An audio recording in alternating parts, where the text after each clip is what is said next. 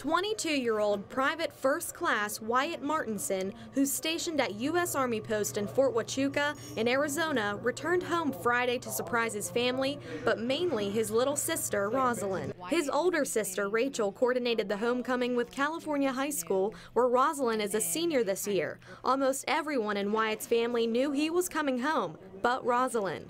Rosalind's on the dance squad, and after performing during halftime at the varsity basketball game, Wyatt walked out in front of everyone to surprise her.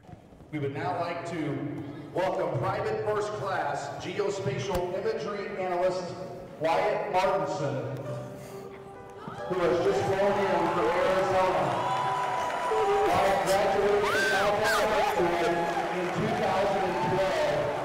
Rosalind says she was so shocked and surprised to see her brother. A surprise Wyatt says he's enjoying himself with the opportunity to spend the holidays at home.